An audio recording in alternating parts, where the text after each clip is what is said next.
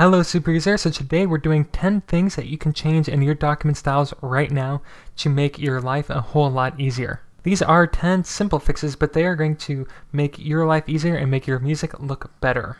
But if you have no idea what document styles or templates are, uh, go ahead and check out my video specifically on that topic in the description below. But before we get started, just want to say thank you. We're almost at thousand subscribers, but we're not quite there yet and still close to 60% of you aren't yet subscribed. So if you could just hit the subscribe button and ring the bell, that'd be greatly appreciated. So back to document styles. One of the very first things you want to do whenever you're setting up your document styles is getting this header section sorted out. So you really want to make sure that your alignment of the text and the size and everything just makes perfect sense. You can do things like that and change this, potentially even make sure that you know the composer and things are aligned like that. If you see my document styles, you can see everything is definitely has a sense of alignment to it. It's not, you know, the usual, you know, everything's just kind of, you know, out there and thrown together. It has a real pattern to it like that. So definitely do that once and you'll never have to worry about that again. Second thing is hairpin opening sizes. So if I were to just create a couple notes in here like this, and then I want to, you know, add a crescendo here, and then add a decrescendo here, you'll notice that they're actually not quite the same size. So for instance, the decrescendo, the opening size is a little bit smaller, and as we make it bigger, it's going to be bigger like that. So there's a quick way to fix it. Just go over here to your Smart Shapes tool, come here to Smart Shapes, Smart Shape Options, and then just make sure the long span opening width is identical to the short span opening width, hit OK, and it's now solved forever. The next thing you want to do is, especially if you work with larger scores, make sure that your tempo marks are in a fixed size font. So what this is going to do is it's going to make your tempo markings readable in both the score and the part, especially for larger scores where the actual staff sizes get really, really small. So just come over here to edit categories and make sure you have tempo mark select and then hit fixed size, music font fixed sized, number font fixed size, and hit OK. Now whenever you type in a tempo marking like that, it's going to be the exact same size in the score and the parts, even if we were to like make this really, really small, like 30% it's going to still be nice and easy to read on the actual full score. The next thing you really want to figure out is you want to get rid of the horizontal click position in your expressions. So for instance, if I were to enter in a technique text, or some other thing like this, you'll notice that it's going to be off-centered. It's never going to be perfectly centered. Even if I do another one like this, it's never perfectly centered, such that if we actually were to highlight it and remove manual adjustments, it aligns them vertically a lot better. That's because over here in your expressive text, edit categories, you'll see that it has horizontal click position here.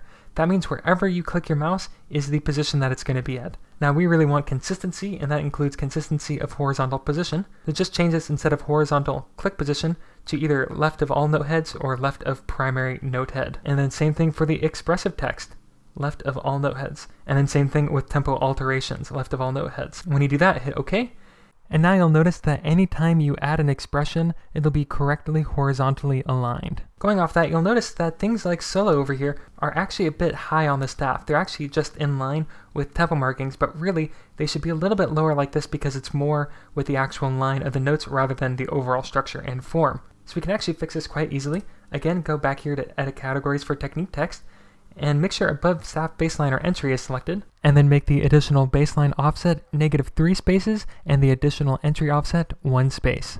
This essentially eliminates any of the offset from the baseline while making sure that the expression is always at least one space above any note entry. And now let's quickly do the same thing for the expressive text and make sure the additional baseline offset is 0 and the additional entry offset is negative 2 spaces.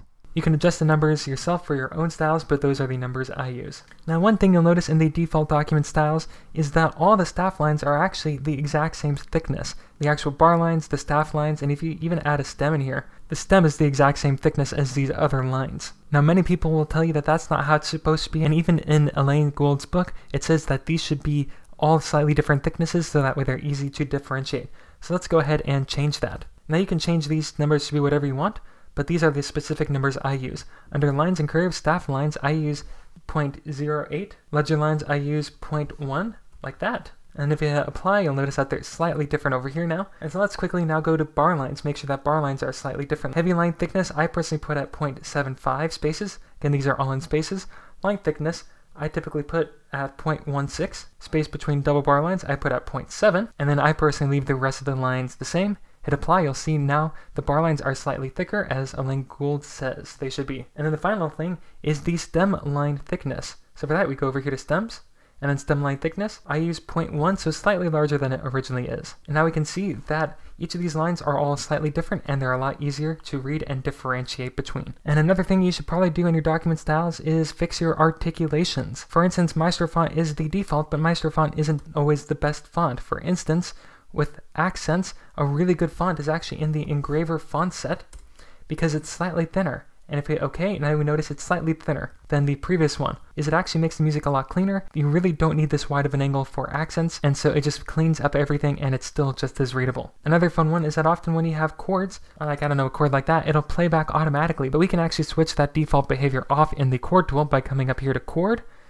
and then disable enable chord playback, and since you're doing this in your document style, then chords are never going to play back by default. Now we're getting to the home stretch, and you may have noticed that oftentimes when you have a bunch of, you know, notes like this, they are normally not beamed back well. And especially if you have three eighth notes in a rest, they're still beamed back in threes, and that can easily and quickly look like a triplet. So let's change this once and for all in your document options, come up over here to beams, and then in this section we can actually control how things are beamed. So for instance, if we disable beam 3 8 notes before or after an 8th rest, that'll basically automatically break the beam here. And then to fix the music we already have, we just want to rebeam everything. So I'm going to come up here to utilities, rebeam, rebeam music. And the very last thing in your document options to help with music spacing, and then make sure that chords and articulations are selected.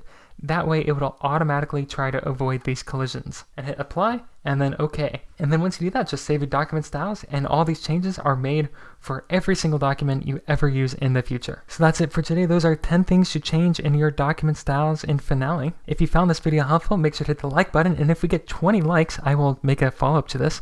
That's 10 more things to change in your document styles. And each week I post new content about how to use Finale to its fullest, so if you don't want to miss out on any of those videos, make sure to subscribe and ring the bell so you get notified every time a new video comes out.